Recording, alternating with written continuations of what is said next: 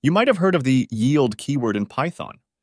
The yield keyword is similar to the return keyword, but acts differently. The yield keyword temporarily freezes the execution and returns the value to the caller. Because it freezes the execution, the function's state is retained, allowing it to continue from where it left off.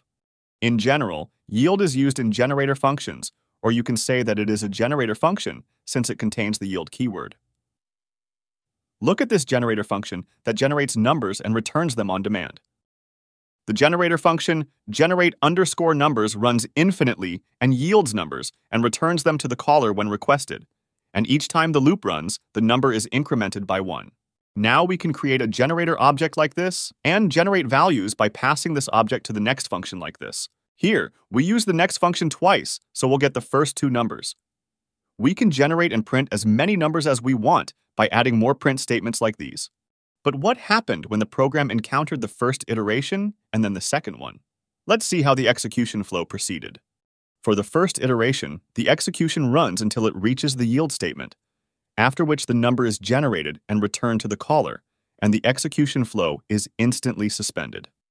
However, on the second iteration, the execution continued from where it left off, incrementing the number by one and then returning it. To improve understanding, we inserted debug messages at various points in the code to determine how the execution is proceeding. We'll get this output.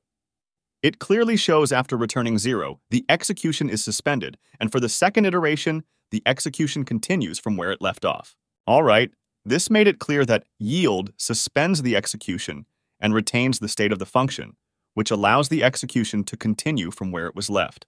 This behavior makes it easy to generate and return a value when requested.